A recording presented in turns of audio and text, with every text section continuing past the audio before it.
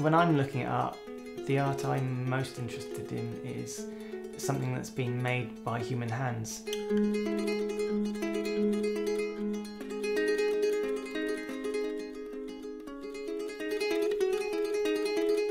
For me, sculpture is a way of escaping technology. I really like the fact that the the way I work is is pretty much the same as the way people have worked in sculpture for thousands of years. Um, I'm using pretty much the same methods and um, materials.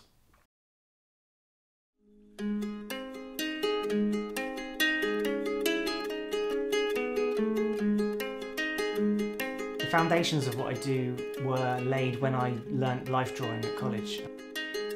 It was very much based on the Uglow Coldstream kind of school of, of, of, analytical mark making. You know, never use a rubber. It's all it's all about negative space. You're kind of analysing the shapes. You're analysing the form, and you're trying to separate that from any knowledge you have already of what you're looking at.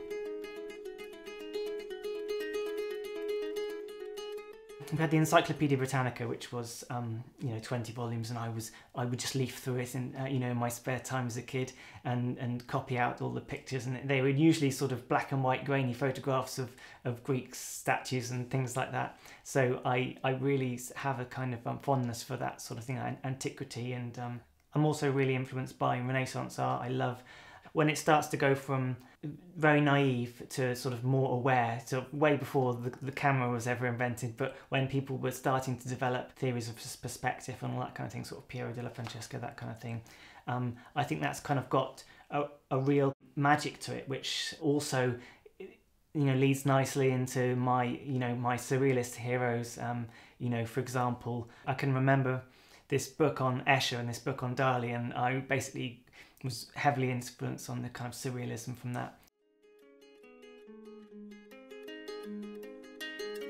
I also love Rembrandt. He's probably um, the painter which I get most excited about if I'm seeing a painting in the flesh. They, you know, it always blows me away.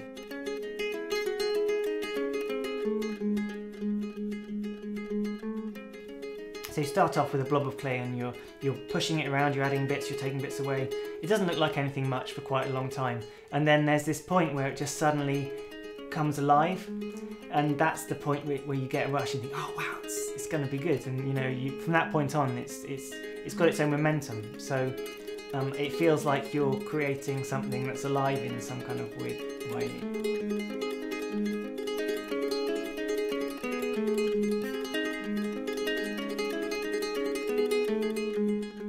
There's so much in art talked about the gaze of the of the of the sitter. Is a subject looking out at the viewer, or does the subject have their eyes um, averted? And so by taking that away, um, it alters the way that you relate to the sculpture quite quite dramatically. And you're free to just look look as much as you want. You can just look. You can just look. Um, and I think that's interesting. I think that does affect the presence of the sculpture. And I think that if the eyes are closed, then there's the potential for it to open them and become more alive. So it's got that kind of ability to wake up. I would say scale is definitely um, a theme in my work.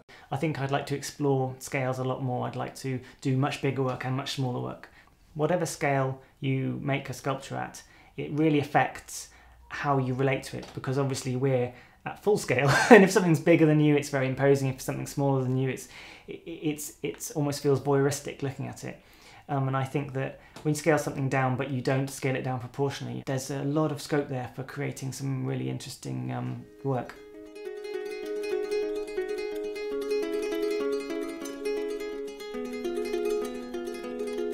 I'd like to bring another aspect to it. Um, I'm not sure what that is yet. I, I, quite often put the wrong heads on different bodies, things like that. I want to um, kind of embrace uh, my kind of surrealist roots a little bit without going too mental. And I also don't want to just do it for the sake of it.